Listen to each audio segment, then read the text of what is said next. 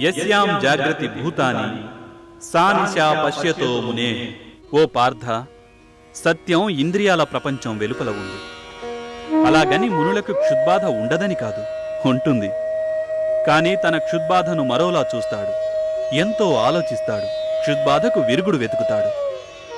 అందుకే సామాన్య మానవుడి పగలు మునుల పాలిట రాత్రి।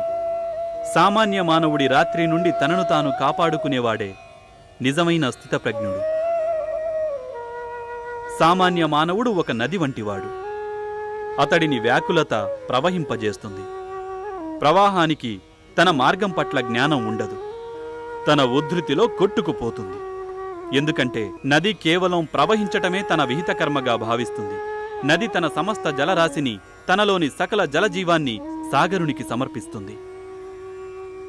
కాని సాగరుడు ఎప్పటికీ తన తటం పట్ల మర్యాదను ఉల్లంఘించజాలడు. ఇదే ప్రకారం కామనలనే నదులు సామాన్య మనుషుల్ని తమలో ప్రవహింపజేస్తాయి.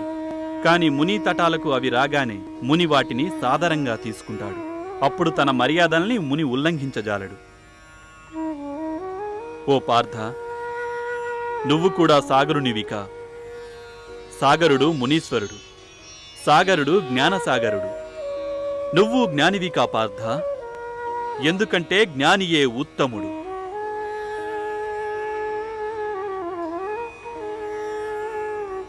ఓ ఋషికేశ ఓ యోగేశ్వర ఓ జ్ఞానమూర్తి జ్ఞానం కర్మ కన్నా ఉత్తమమైతే తాము మమ్ము ఈ భౌతిక కర్మలను ఎందుకు చేయమంటున్నారు కేశవ?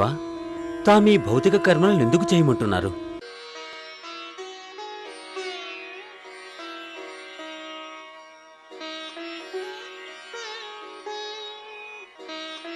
ఓ కేశవ మమ్ము తాము ఇరుకున పెట్టారు.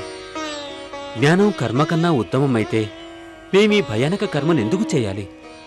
ఎందుకు ఈ యుద్ధం కేశవా?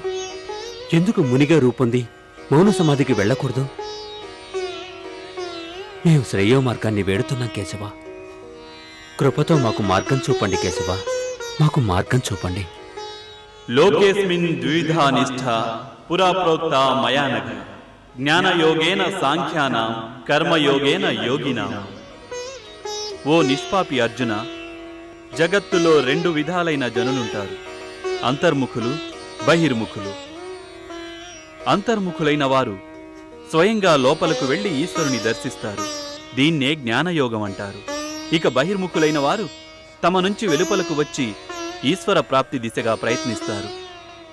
కానీ కర్మలను విడనాడజాలరు. ఎందుకంటే స్వయంగా లోపలకు వెళ్ళి అన్వేషించటమన్నది కర్మయే. ఓ కుంతీపుత్ర మార్గాలైతే ఈ రెండే ఉన్నాయి. ఒకటి జ్ఞానయోగానిది కాగా రెండవది కర్మయోగానిది. ఓ కేశవా మరి మేము జ్ఞానయోగ మార్గంపై ఎందుకు వెళ్ళకూడదు? కానీ ఓ పార్థ జ్ఞానయోగమైన కర్మల్ని త్యజించే మార్గం కాదు సిద్ధించే మార్గం కాదు. ఎందుకంటే కర్మ మినహా జీవితం సంభవం కాదు.